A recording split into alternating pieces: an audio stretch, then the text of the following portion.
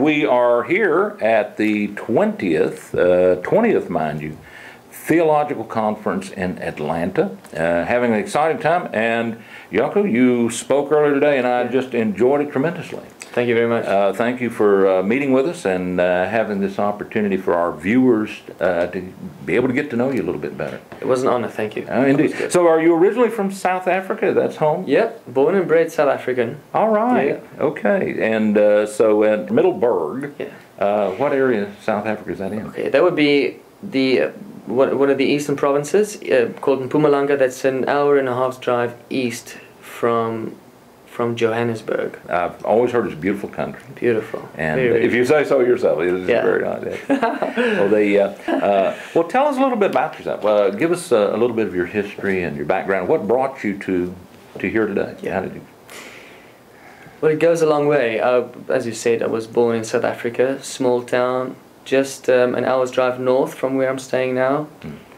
A town called Groblersdal. It uh, used to be an Afrikaans, Afrikaans speaking, predominantly Afrikaans speaking town. Moved to a neighboring town called Marble Hall, but um, yeah, we grew up in the Dutch Reformed Church. Okay, Dutch Reformed. That's okay. it. There are three sister churches called Dutch Reformed churches. Um, since 19, 1988, there were four because there was a there was a schism in one of those churches. Ah, mhm. And um, yeah, a, a whole family from both my mother's and my father's ancestry were Dutch, Dutch Reformed churchgoers. Mm. So that's my background. Um, we attended church either, well, very often, as often as we could. Um, as I shared with you in my talk, my mother was the one teaching us about what the Bible taught, the Mhm. way she understood it. So from a very young age, I learnt about Jesus and God and heaven and hell. So yeah, from a very very young age, mom told us about the Bible. Let me ask you uh, Yeah. the uh, for the benefit of our viewers that may not be familiar. Now you're, you're saying Dutch Reformed. Is that sort of like a part of the larger Reformed church movement? Yeah. Uh, okay. Sort of uh, rather Calvinistic in Calvinistic, theology and so yeah, yeah. okay. predominantly Calvinistic. Yeah. Okay, I Also see. predestination, all that. Sure. Yeah. So uh, you're, but you got most of your early uh, Bible instruction uh, and understanding uh, through your mom. That's true. That's. That's true. And also, obviously, from from attending Sunday school, I did not particularly enjoy Sunday school. Hmm. In fact, when I was very young, I did not really like going to church. Mhm. I nevertheless had an understanding of God, an appreciation of God. I was, I, I had a few theological dilemmas, if you could call it that. If I have the arrogance of calling it that, since I was so young. Hmm. But I had an issue with suffering, for instance. I did not know how a loving God could allow suffering. Mm, I was mm. I was too little to figure that out myself. But I would I would find myself thinking about what Jesus would be doing right now, how to speak to Jesus, um, you know, how he would feel about about suffering, human suffering, Mhm. suffering of animals. I loved the animal and the plant kingdom. Oh yes, yes. They taught me about about God. I've always been fascinating, Mm. fa- fascinated by by nature. I was very very young, thinking about all these things. Eventually, I felt the necessity and the desire to know God better. Mm. Entering my adolescent years, my, my teenage years, but I experienced the need for spiritual things. Obviously, started to immerse myself more and more into spiritual things. Not really understand the Bible properly. Um, loving to, I used to love reading the Bible. I remember going to hostel, and every every night I would read the Bible because that would be so comforting to me. Mm. The Bible was a, a book that comforted me so much. Especially, like I said, my, my teenage years, I loved. Then, then was the time when I, when I started to experience God more, when I wanted more of Him in my life. Yeah. Did you um, then continue in the Reform uh, Dutch movement? I I encountered a few I encountered a few problems with their their theology. Mm. The the major one of those was the Trinity. Ah, I okay. could never believe in the Trinity. I see. Even with my limited knowledge of the Bible, I couldn't arrive from just reading scripture. I couldn't arrive at the Trinity. As I also shared with you in my talk, the Sunday school paper that we had to write after studying the Heidelberg's Catechism, Mm. and um, uh, we were asked to write down the definition of the Trinity. I wrote it down, and after behind or, or just after my answer, I just wrote down, although I do not believe in it in, bracket, in brackets. So you, you gave a, uh, you, ex- you gave a definition or explanation of the Trinity, but then. My conscience could, couldn't didn't allow me or couldn't allow me to, to leave it just at that because I did not settle for that. I, I wasn't convinced that that was what the Bible really teaches. Wow, yeah, that's good. So when I was I was very young, 13, 14, my parents divorced and my mom started to study with Jehovah's Witnesses. Mm, mhm. At that time, I I wasn't I wasn't really interested in what they had to teach until a while later when we went on holiday with a family that were who were Jehovah's Witnesses, personal friends or family friends of ours. I asked a couple of questions and I knew they, they, they, they told me the truth. Mm, mm, They told me the truth about the one God, mm, that He has a personal name, mhm. That Jesus is not God but God's Son. Everything I had expected truth to teach me, they taught me. Wow, okay. But being so overwhelmed by all these biblical truths, this is this is no other these are no other truths than biblical truths. Th- Mm. These truths do, do not belong to any denomination to any church. These are biblical. But being so overwhelmed by them, unfortunately, I also accepted things that I now believe are not taught in the Bible. They expected us to believe was to accept the organization, the Watchtower organization, as God's mouthpiece here on earth. I see. Mm, I was fascinated by, by, by prophecy, but I didn't know that Jehovah's Witnesses had a very u- unique way of interpreting prophecy. mm, I never knew that they had doctrinal flip flops when it came to prophecy. ah, That okay. I only later discovered. But obviously, those were the things they would never share with me. Mhm. Someone who was just newly interested in what they had to teach. Sure. So in no time, I became an ardent Bible student, a, a, a very zealous Bible student. I was a good, very good Bible student Mm. also. When I when when we when I was eighteen, I got baptized, Mm, as well as my younger brother and my, my mother. mhm. I remember the 1st of August 1999 was the prayer in which I dedicated my life to, to God. Mm, Funny enough, in personal prayer, I, I was never concerned over the organization. I couldn't, for instance, say in prayer, I dedicated my life to organization. Never, never. I don't know why. mhm, mhm. Other witnesses do, or apparently they, well, they, it becomes manifest when you hear how they how they pray. But I appreciated the organization. Yeah, that was good. But I loved the biblical truths more, Mm, mm. and that was what what excited me. Wow. Yeah. So you moved then from a, a base, if you will, in, in your growing up and development in the Dutch Reform movement and a wonderful mother of faith who was Yeah. uh, very helpful. Uh, and eventually, uh, but had difficulty. You had difficulties even then uh, with, uh, particularly the, the notion of the Trinity, the idea of the Trinity being God as a, as a God. Um, but uh, and then you found uh, that uh, through the Jehovah's Witnesses, uh, there seemed to be uh, some answers to some of those problems. Yeah, And uh, and- and you were appreciative of that, I think, if I'm Most picking up on that. um, back in those days, I we needed struct we needed structure Mhm. in our lives. Mhm. My mom and dad had just been divorced. Mhm. It was uh, it was those were very traumatic times. I remember my elder sister telling me. We were young, and she would tell me, "You know what, Jaco? You know why I would believe the things you taught, the, the, the things you learned from what Jehovah's Witnesses taught you?" She said, "You turned around from being an aggressive, frustrated young man to being so calm." Wow, that's nice. Yeah. And that is true because I felt a connection with God again. Mhm.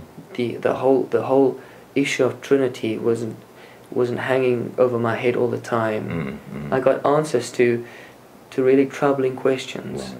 and those were the most important answers. Obviously, obviously, from a JW point of view, that was not enough. Mm, mhm.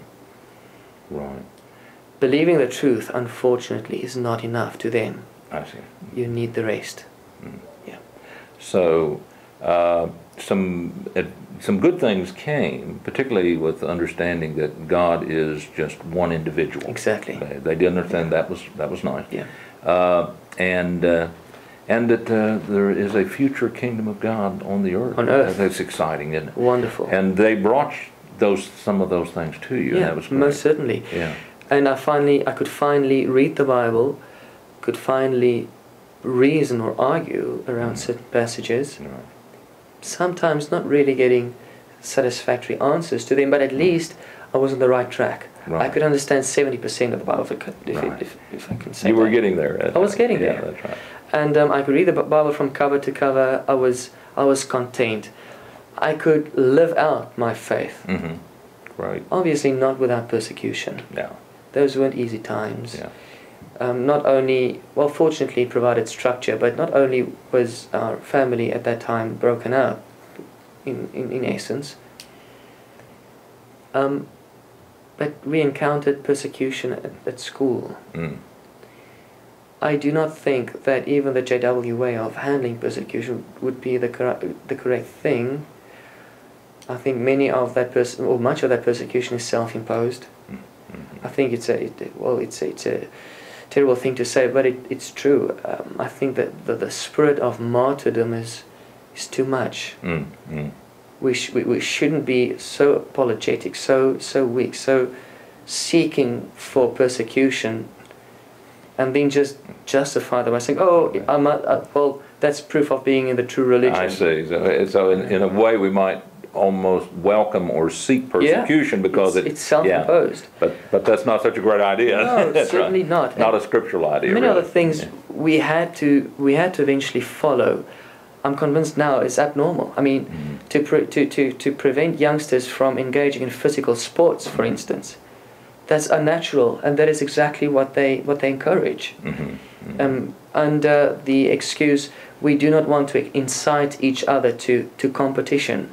Well, what eventually happens is, you know, we grow up, we turn 21, we eventually start playing, for instance, squash or rugby with other fellow witnesses, Mm, mm. and then we cannot handle losing because we've never learned Mm. how to lose. Right. No, sp- Wow. no, no, no sportsman sh- spirit was ever learned. Wow. So there's there's disadvantages in that Oh, sense of isolation. Most, and- most definitely. yeah, yeah. The other thing that inevitably con- um, developed was our cutting off relationships with other family members and friends. Ah, yes. Mm. Now that's not directly directly done. It it's more subtly done. Mhm. For instance, a Watchtower study might say, for instance, that you know anyone not worshiping Jehovah is a potential enemy of Jehovah. Mhm. We do not want to be friends with enemies of Jehovah, do we? Mm. Mm. Obviously, someone who's zealous for the truth would, would swallow that hook, line, and sinker Mm. and apply that, or even overextend that teaching's application. Mm. So many of our family members got alienated from us, or we got alienated from them. I lost many friends. Wow. Yeah. I could even be, uh, I could only befriend JW youngsters. I see. And to be honest with you, many JW youngsters were not the best of friends. Were Mhm. not the best of Christians you would you would want to be befriend. But well, what what, what other what other frame of reference Mhm. did I have? I could I wanted to be obedient. I wanted to Mhm. be pleasing to God. I was I was taught that this was the mouthpiece of God and they were appointed in 1918 to be God's mouthpiece. You better show your loyalty. Ah, yes. type thing. Yes, of course. And every good Christian wants to demonstrate loyalty. Um, If I'm sensing correctly, and don't let me in any Sure. way misrepresent your feelings or what you're saying, but Sure. I don't sense that you have any kind of anger, frustration, bitterness, or No. anything toward uh, the folks in uh, that past, in those, in those areas. Uh, And I sense that you have uh, respect and honor toward Yeah. all of those folks. Um, With that in mind, uh, you did see and find uh, in your own life some problems related to uh, the way in which um, you were conducting life and, Yeah. and faith. Uh, though you found some truths that you could certainly latch onto. Um, let me ask you this then. Uh, not really breaking relationship with the, the JWs uh, for, for reasons of anger, frustration, or bitterness, what did bring you to make the changes that you And many times, being a JW, I would I would think over prophecy, or I would think over certain arguments they put forth in various publications. And many times, the those arguments just didn't didn't add up. Mm, I realized that someone bright enough could say this, and I wouldn't have an, an, an answer Mhm. to that objection. I was very aware of those, such as the, the prophecies, the 1914 thing. There were a few weaknesses in the 144,000 reasoning. I mean, why interpret, interpret the rest of Revelation, all the other numbers symbolically, but stick to the, the literalness of that number? yes, I see. Okay. Immediately surrounding that verse is what they interpret to be the symbolic tribes of Israel, the Mm. symbolic lamb, Mm. the symbolic Mount Zion, but the literal 144,000. Interesting. Seems, it seems rather inconsistent then. In, Certainly, in certainly. Yeah. I was also aware of inconsistencies in, or, or in, in um, should I rather say, irregularities in other congregations. But Mm. my uh, uh, the congregation I used to attend was a mature congregation, elderly people there, so there were no typical issues in that in that congregation. Mm. But I remember one morning when an elder gave me the organization's guidelines on how to handle child molestation. Mm. I was a very strong witness. You need you need to understand that I was I had already been appointed a ministerial servant. Ah. Well, And it would seem to me that you were quite astute, well, well aware of all the teachings and instructions and, and so on, Bible understanding of the, of the witness. I was I was very privileged because I had an elder that, that taught me many things. Wow, Not yeah. only of scripture, but also how to conduct yourself in, in, in difficult situations, in public speaking, Sure. in, in, in, public ministry, you know, i- evangelizing all that. And he also taught me organizational procedure. And I remember one day reading those those guidelines and I was horrified, to tell you the least.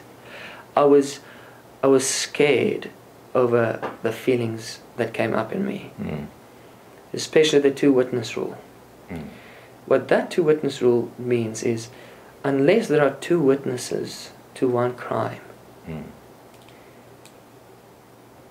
the one per, the, the perpetrator of that that crime cannot be disciplined. Mm. And that was a problem to me because whoever molests a child Ah, in front of someone else. Saying, but you know what, if another child comes with the same accusation, then we can take action. Well, that is not, that is not the second witness to the same crime, and that is apparently the biblical Ah. norm they're following. I see. Mhm. So they could bend it in one instance, but in another, they couldn't. Wow. Okay. But it was as if I filed that whole thing. And I moved to another congregation, befriended a few witnesses there. But I stood out as different again. And the more I befriended several elders and, and several ministerial servants, I realized that there were some serious problems in, in that congregation. Mm. Mm. And um, among other things were Im- immorality, Mm. Prostitution, and even an accus- or, or, or suspicion of child molestation. Wow. Clear signs of child molestation. Wow. Well, I opened a whole can of worms. You must appreciate that this was devastating to me. Wow. having gone through all those experiences and seeing a system flawed to the core, Mm, hmm it was it was very very traumatic to me. Let me understand for the benefit of our viewers, uh, you're not necessarily saying that you were the victim of these things No, no, no, no. but you came to understand that these things were happening or apparently Certainly, were happening. Certainly, yeah. Oh, wow. Okay. So when I started to uncover some of these things, I started to bring these things to light. The reaction was, was devastating to me in that there was there was simply no action taken to any Wow. of the perpetrators. I wrote letters, and the initial the initial reaction was positive in that the traveling overseer would say, "Oh, this is serious. We need to take action." Mm. And after chatting with the elders, they would come back and say, "You know what? Somehow you need to make peace with it. There won't be any action taken." Wow, okay. You see, I even went as far. I was as desperate as going as far as downloading the elders' manual. Now, the elders' manual is a book given to elders alone. Mm. Other witnesses do not have access to that book because of very confidential procedures Mhm. and whatnot contain it. I went and downloaded that elders' manual from the internet. Mm. And I quoted in my letters to, to the organization where they were not following their own procedure. Wow, okay. And I remember the one final meeting I had with the elders. Going on my knees and praying to God, praying to Jehovah, saying, God Jehovah, I you know I am also imperfect, but you are well aware of the danger many many brothers and sisters are in with all these irregularities. I came to believe your truth, and I also came to believe that this organization is your mouthpiece. I've got a crisis of conscience. And I went as far as saying, You know the truth.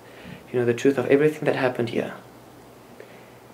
If your organization is indeed guided by you and by your spirit, we know what should happen.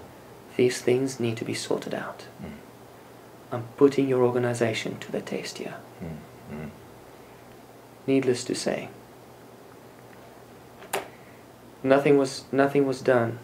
In fact, a year after this whole case, this very person, accused of child molestation and sexual harassment, and all that, was appointed an elder Oh, wow, in that in, in that in that congregation. wow. So bad experiences, very similar to Ray Faircloth's over in England. I eh? see. Sure. Mm. Yes, we know uh, Ray. Yeah. Uh, Wonderful fellow. Yeah. Well, let me ask you this then. Uh, you're saying not just what you felt like then were just some totally isolated problems, but that this represented systemic Yeah. problems within During the that JWs. during that time, actually before that time, I felt it some. I I felt some um, dissatisfaction with, with, with all the things I, I, I learned from the Watchtower. I felt that everything was repetitive. It felt boring. In fact, one one morning I told my mother. I said, "Forgive me for saying it, but I feel so bored. Mm, mm. There's nothing new. There's I feel." It's the same old thing. Nothing to challenge you out here, is there? Know, there's, there's, I'm not being fed anymore. ah, yes. And she told me, Jaco, I can see that. Oh, Yeah. So before that time, I started to read around on the internet and I found different websites of dissenting Jehovah's Witnesses. ah, okay. And, um, and they were, they, they observed things, things similar to what I came to observe. Not only, not only in procedural matters as what I've just described to you in the particular case of serious wrongdoing, but also in, in prophecy, in, in, in approaching scripture. Mhm. I came to be convinced that they were indeed uttering false prophecies. Their date setting was Wow. wrong every time. Wow. Mm. It was wrong every time. 1799, 1874, 1914, 1925, 1975. Mm. Those were dates the brothers had to believe in as if it were the words of Jehovah. Mm. Well, Jehovah does not lie. Mm. And what applies to one applies to everyone else. When Jehovah says, if a prophet speaks in my name and it does not come true, do not listen to him and do not bother fearing that prophet either. L- continuing listening to the, the organization, continuing fearing that organization as if it were God's mouthpiece would imply would imply my disobedient, Mm. my, my being disobedient to Deuteronomy 18 Mm, yes. disobedient to Jehovah. See? So all these things I, I gradually came to be aware of. During this whole case that I was involved in, the whole can of worms I opened, I also came in contact with Barbara Anderson. You must have met Barbara Anderson. She was the lead researcher of the JW um, biography, if you call it that, history. It's a thick, thick book on the history of, of Jehovah's Witnesses. It's called Jehovah's Witnesses, Pro- Proclaimers of God's Kingdom. Mm, mm. And she uncovered serious irregularities. She said she discovered a, a cabinet in the archives of the Watchtower organization containing over 23 case, 23,000 cases of unresolved issues around child molestation. On my lands, yeah. Wow. So obviously that was that was great catharsis for me to, to write my experiences to her, to to explain to her what, what how helpless I'm feeling and how distraught I am, the disappointed I was expe- the disappointment I was experiencing and having nowhere to go. So I stuck in there. Mm, mm, I stuck in the whole thing for two years, Wow. battling the system. mm.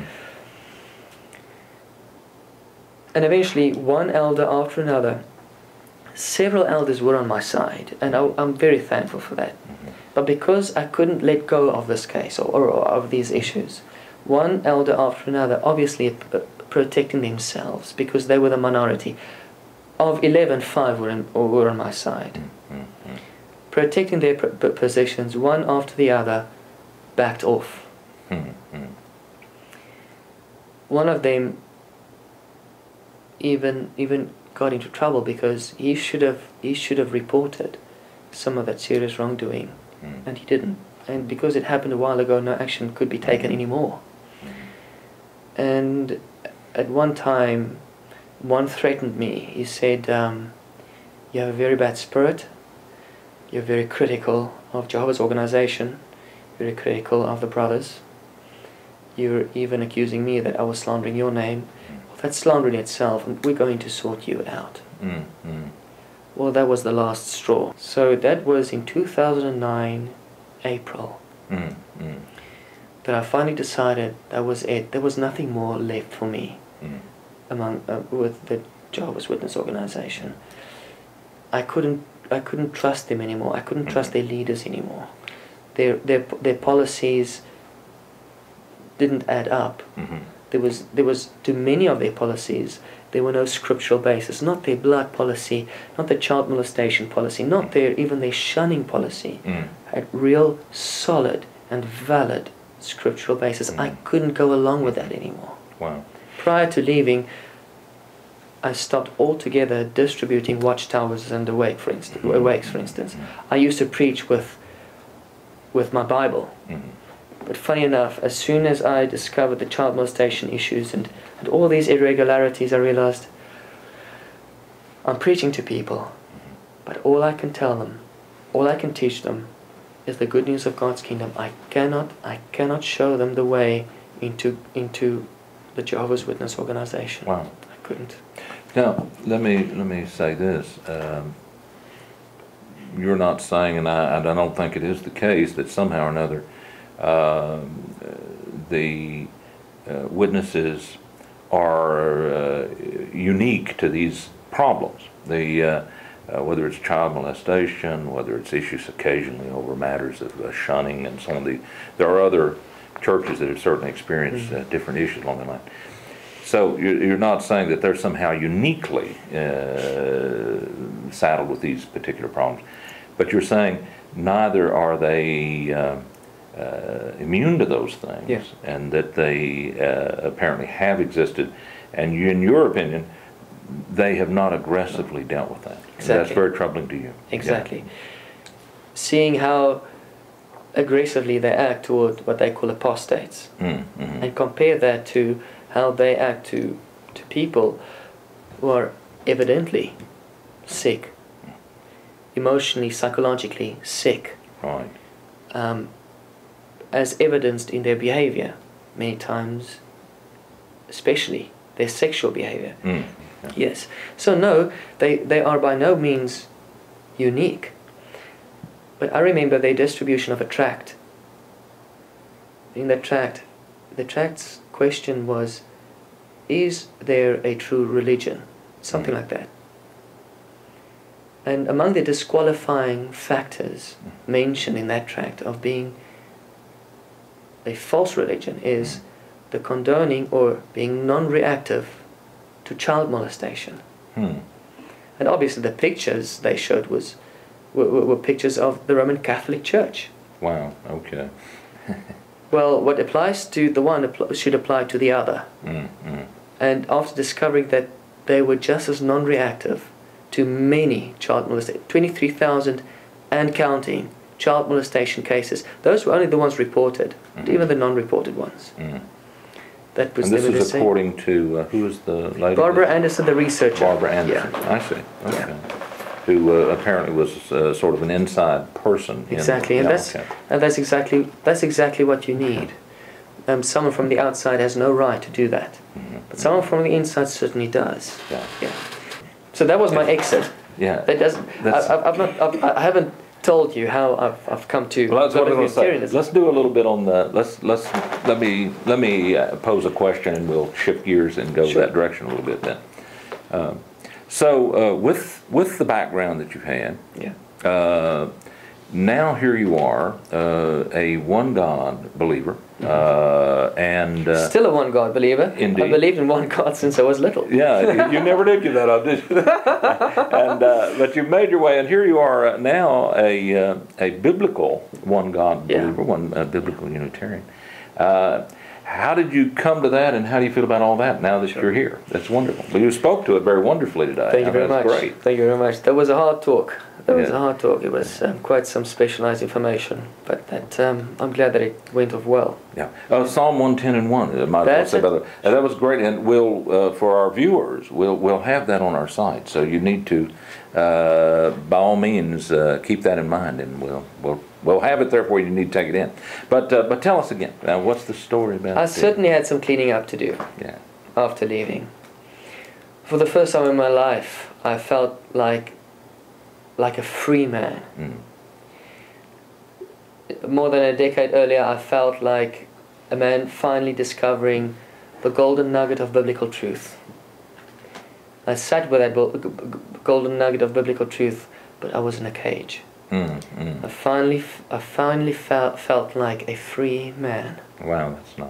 a free Christian. Mm. Obviously, certain issues had to be cleared up. I had to reinvent my mind, as it were, according to the uh, first century model of Christianity. Mm, mm. I need to realize that there was there was no such thing as an organization. Mhm. Organism, yes. Mhm. Christ's body is a body. It's an organism. It, it, it develops. It, it's dynamic. It changes. It grows. Mhm. Organism implies, to a certain level, also organization. Else, it would not be an a, a live organism, but not the other way around. Organization does not necessarily imply organism. And far, and far too often, organization takes on human dimensions. Exactly. And, yeah, yeah. And, and a, a corporate hierarchy, Mm. something foreign to the to the to the first century model. Mm, mm. So that was something I, I wrestled with. I knew, I knew the first century Christians were guided by Holy Spirit. They were organized by Holy Spirit, not Wow. by not by human strategy or human invention, but by Holy Spirit. Mm. And I wrestled with that, and and reading reading around, reading up, and um, doing some personal Bible study as well. I I- sort of started to grasp it Mm. That God is our organizer, not humans. Wow. God, by means of our King Christ Jesus, the King of the, the congregation, and the Spirit making them present among us, That is what organizes us. That was beautiful. That, that realization was good. Mm. I came across, um, well, I, was, I had already been aware of certain dissenting Jehovah's Witness websites, some very good material on there. And on one of them was also websites or, or, or, links to biblical Unitarianism. Mhm. Anthony Buzzard's site as well as Oh, the. Kingdom Ready site. Oh, yes, uh, Sean Finnegan. Yes. Yes, great stuff. I enjoyed I enjoyed um, visiting those sites, Mm. but I had a problem. It was easy for me to accept. Well, Jesus would come back, he would reign in Jerusalem. That was okay. That was good. It sounded good to me. It made sense to me. Mhm. I had a problem with three things that I really had to sort out. The one thing was the bodily resurrection of Jesus. That Jesus was re- was resurrected, not like a spirit, not like well, not a spirit, but in a spiritual or an immortal body was still a soma. It was still a body. Right. Okay, so that was the first thing. Well, let me ask you on that point now, is the, is it uh, the view of uh, our witness friends that it's not uh, truly a No, he was he was he was resurrected like like an angel Oh, that he could materialize. Oh, okay, Yeah. okay, I see. Uh, so I think they're, well, as you have decided apparently, that they're really misunderstanding Yeah, that issue. most certainly. Yeah, sure. and um, they, they, they deal with the dilemma of the missing body as God just ta took care of the body. He just made the body disappear. I see, yes. Whereas we now realize that that was the very body that was immortalized. Yes, Yeah. this, this mortal will put on immortality. Immortality, Yes, exactly. Yeah, yeah, And, and, and, and we as Christians would follow the same pattern. yeah. The resurrection of the flesh Yeah. would be in reaction to Jesus' Mm, resurrection. Right. Yeah, that would, would be a similar image. Great. The other thing was um, no heavenly life. Okay. Well, I really never wanted to go to heaven anyway. I realized that I, that I wasn't, as a Jehovah's Witness, it, witness, it was inculcated. If you don't have that desire to go to heaven, you probably are not part of the 144,000 cl- class going to heaven. So you'll remain here on earth. And my re- reaction was, well, send them off to heaven. I want to stay on You'd earth. like, you'd Thank you enjoy staying much." right here, that's right. Yeah. so that was the other issue. With a, with a, uh, a wonderfully new and renewed earth. uh, in- that was fine. God's- I God's understood kingdom, that. I understood that. But for the royals also, Yeah, you see, yeah. for that special class, I was still un- under the impression that there was a two-class system. Oh, yes, of you know, course, the invention okay. of Rutherford. Right. Yeah, The hundred and forty-four thousand. that's it. Okay. two yes, of class course, system. I There are see. two classes. Yeah. That was something um, um, um, Russell never believed in, but Rutherford came in. He introduced all new kinds of stuff. That I only later, I only uh, with, my research I see. found out. All new kinds of stuff Rutherford introduced, and I he see. was he was a very important man. Okay. So that I had to take care of, and the third thing was the non-personal pre-existence of Jesus. Ah, yes. Yeah. So, but but well, I I wasn't prepared to join any other religion anyway. Mhm.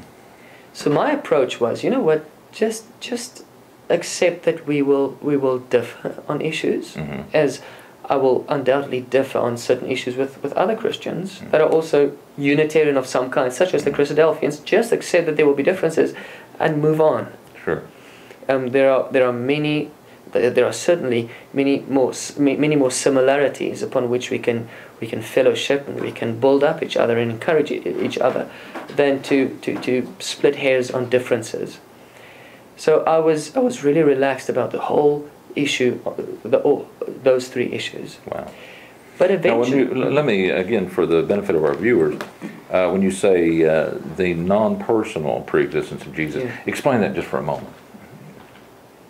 What, what that issue is about, what, what what that means about? is when when when the when, the Bible says that Jesus was foreordained Mm, to come uh, to, to, to appear as our Messiah. It does not mean that he pre-existed in person with God in in the heaven. In some literal sense, through, in some literal sense, Yeah. and came through through Mary into Ah, yes, into our, our human sphere, right. and then just return to come back, pick us up, and return again. Um, it means that God had a plan, and that plan was so sure, it was so certain, that it was as if Jesus had already been there. Right. Just as in John 17 said, it, it is so sure that there will be people, Christians, being immortalized and ruling with Jesus, that Jesus could say, You already have that glory. Yes, Yeah. yes. That's prolepsis. That I, I even discovered that there was a, a sound theological doctrine around prolepsis. Ah, yes. The expectation. Um, Enoch, for instance, was quoted in, in Jude. It says, Yahweh came with came with his myriads of angels, executing Yes. um, judgment upon the wicked. Right. While, while, while Enoch was alive, it had not happened. But it was so certain it was as Yes. good as fulfilled. Uh, And that was the concept I had to grasp. Yeah, sometimes called a uh, prophetic present, I've heard. That's it. Yes, yes. That's it. In- Or indeed. eschatological reality. Yes, yes, yes. Experiencing eschatology The, the prophet is able to speak of something that is yet future as though it was right before his eyes. Because of And- the certainty of it. Yeah, and, Certainty. and because of its certainty, and because sometimes by vision or prophecy, it is before his eyes. Yeah. You know, it's John saying, I looked and, and behold, there was this beast and Yeah. all of this. Well, most people would say that was future to John, Certainly. I think. Yeah. And yet he's able to say, there it was. Yeah, Uh, certainly. It's, here, but, but no, it's actually in the future. Yeah. it's not. So we discover then that with regard to Jesus, there is uh, this same sense of certainty, Mm-hmm. foreknowledge in God's plan and His work. And uh, it's, it's as though Jesus is before the eyes of the prophets, and yet His literal existence was still to come in the future. Exactly. Yeah, yeah, Jesus good. had been in the mind of God before creation. Yes, yes. Certainly. Wonderful stuff. So, by means of that, and by means of the whole plan, that if things would go wrong, Jesus would be there. Yeah, that's great. We could exp- we, we understand. That's why through that thought, through that whole plan of God, God created the rest. Great. So it made sense. It made per- and what I also di- discovered was that it was no unique biblical Unitarian teaching, Mm. as I came to learn when I was a, a, a, a Jehovah's Witness. They, they, they, they were teaching unique watchtower teachings. Ah, yes. No other group ever taught those teachings. Mhm. Those were unique. Those were really inventions uh, belonging to the watchtower alone. I see. And I discovered, well, this ideal, non-personal, ide- in- in- not, not, not personal, but ideal pre-existence of Jesus was, was nothing new. Mm. There were other uh, well-known scholars who also had that impression, who also taught that. Mm. So it was nothing Who new. realized this to be the case? Yes, that's Yeah. right. That's correct. That was good. Mm. You know, um, that was like that was like independent confirmation. Right. Yeah. Jaco, uh, let me ask you this then. With regard to the things we've been saying, if you could say anything to uh, your your former associates Yeah. uh, w- uh, with the witnesses, and perhaps some who uh, maybe have disassociated with the witness, what would your word be to to the person out there? What would you say to the folks? Uh, Okay. Maybe I should just clarify one thing. Sure. I'm not I'm not implying that the true Christian congregation will be free of problems. Sure. I'm not implying that. What I'm saying is the true Christian congregation should be so free that if I encounter a problem and I can protect myself, I am able to separate myself from a, from a particular group. Mm, mm. I am not forced to stick to a group and in the process harm myself, harm my spirituality. Mm, mm, That's what I'm saying. Wow. Sure. What I can say to Jehovah's Witnesses is that biblical Unitarianism is it's not a religion, it's not it's not it's not a church. It's a theology. And that is in effect what we want. The church is the body of Christ. We do not want to we, want, we do, do not want to be be be um, impeded or uh, we don't want to be crippled by by organizational procedure, by by man-made man-made laws and regulations. And that is unfortunately what's happened not only to the JW organization but also to, to other religions. Sure. J- Biblical Unitarianism, the, within the context of free Christianity, is the solution to Mm. the watchtower dilemmas. Wow. It is Wow. the solution. On minor on minor issues, you're free to disagree. On essential issues, we agree upon anyway. Mhm. And allowing God to, to, to work through me as an individual, not forever seeking the, ap- the ap- approval of the structures that be, the authorities that be, Mhm. Um, for me to grow in a certain direction, and then having them mold and guide me into that direction, predetermined direction. No, no, no. We as humans can grow within our potential as God blesses us Mm. and, and, and injects, as it were, Holy Spirit within us, allowing us to grow in a direction as an, organize, as, as, as an organism Mhm. in a way that He wants us to grow and develop. And that is the kind of freedom every Christian should have, Right. the Jehovah's Witnesses included. Yeah. Interesting. Well, let me ask you this.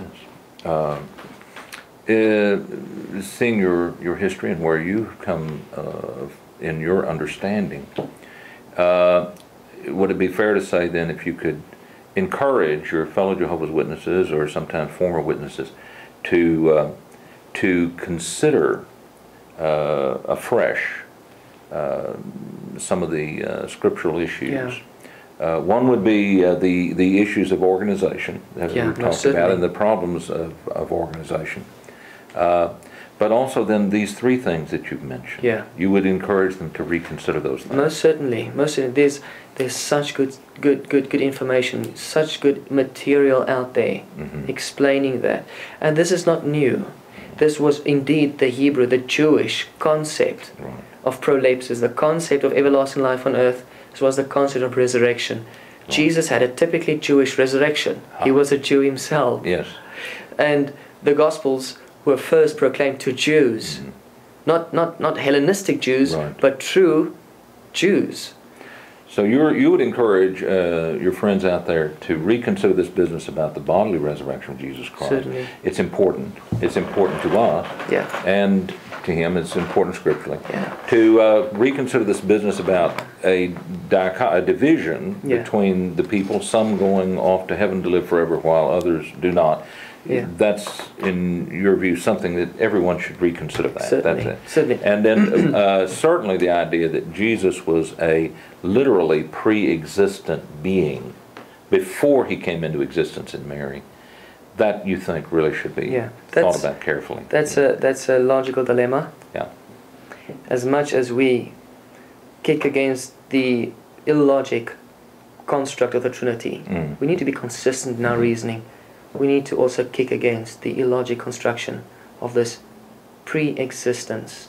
Ah, In other words, he existed before he existed. Right. It's it's it, it doesn't it doesn't add up. Logically, it doesn't add up. Jaco, thank you so much for sharing all of this with us. It's wonderful. Thank you very much. Uh, great truths and understanding that you've come to, and uh, you're speaking the truths about the one God wonderfully and about His human Son Jesus. I love it. It's, it's great stuff.